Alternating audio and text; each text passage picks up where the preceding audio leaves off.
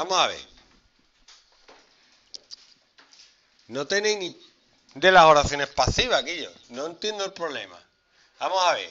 Gray. Sí, voy a poner ejemplo. Gray regaló un látigo a, ¿cómo se llama la novia o lo que sea? Anastasia, ¿no? Mira cómo lo sabe. Lo que no sabemos... Lo que... Anastasio no, Anastasia. Anastasia. Anastasia. Vamos a ver, ¿cuál es el sujeto?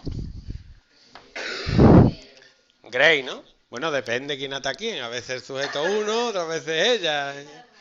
El sujeto es Grey.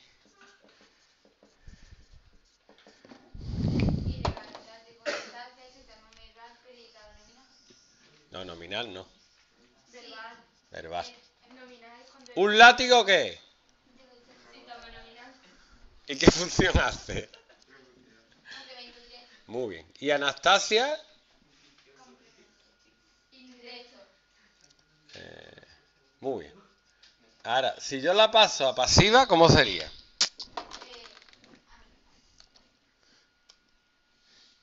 Es que no, no sé lo que... No sé el problema. El verbo ser pero en el tiempo que esté aquí. No, no, no, no. Eh, ahí está en pasado. Hay que poner el verbo ser en pasado. Bueno, vamos a seguir un orden, ¿vale? Uno. El complemento directo pasa a ser sujeto paciente. Que eso es Grey cuando lo ata la tía a la cama. Sujeto, está sujeto y está esperando a que venga. Así. Sujeto paciente. Y el su entonces, y va al principio. Entonces, ¿cuál sería el principio de la oración en pasiva? La madre que os parió. El complemento directo. Ah, menos más. Un látigo. Fue regalado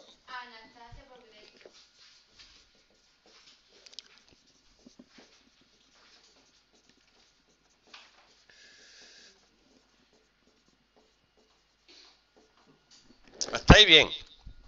El complemento directo pasa a ser sujeto paciente.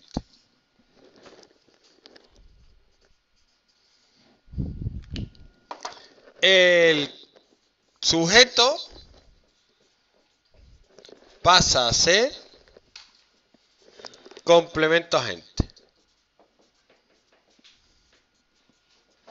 Entonces, ¿cuál es el complemento agente? complemento agente empieza por por. Por por. Por Gray. Por Gray. Y el complemento indirecto no cambia. El CI no cambia. ¿Cuál es el complemento indirecto? Anastasia. ¿Cómo cambia el verbo?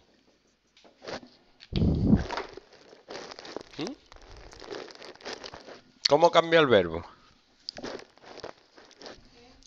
¿Cómo cambia el verbo? El verbo es, el verbo ser en el tiempo que está. En pasado, fue. ¿Por qué? Porque es el látigo. Tiene que concordar en género y número. Digo, en número y persona. Y el verbo en, en participio. Entonces esta es la forma de reconocer complemento agente. ¿Vale? No confundir cuando es de causa. Por ejemplo, la... No, el partido se suspendió por la lluvia. Ahí está.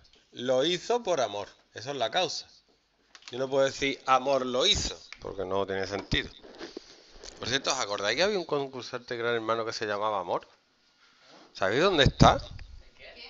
No, por si alguno os da por meter a un gran hermano, que la gente tiene fama durante un tiempo y luego se desaparece y las secuelas quedan.